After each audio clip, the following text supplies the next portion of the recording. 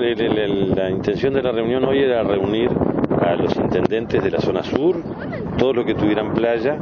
desde Colonia hasta Rocha, para organizar, digamos, el tema de los controles para evitar contagios más allá de los que ya tenemos. Entonces, este, hubo un intercambio de ideas, estaba estábamos nosotros, la, intendenta electa de San José, la intendenta de,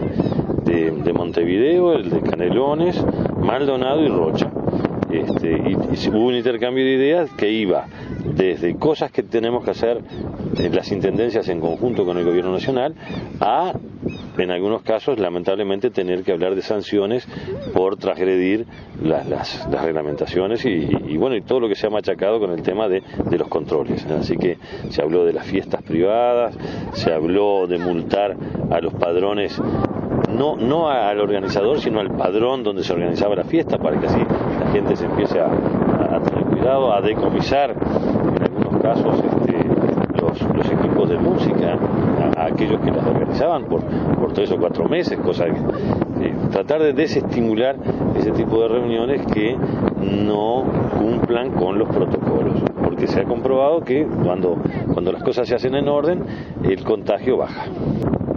Eh, eh, por ahí trascendió a través de las redes que a veces publican cosas que son ciertas y otras que no, que habría posibilidad que en Colonia se sancionara por el no uso de tapabocas. No, toda,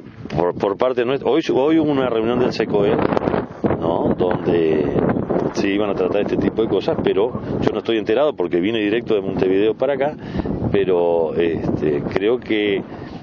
vamos a insistir con que la gente tome conciencia de la necesidad de usar el tapaboca.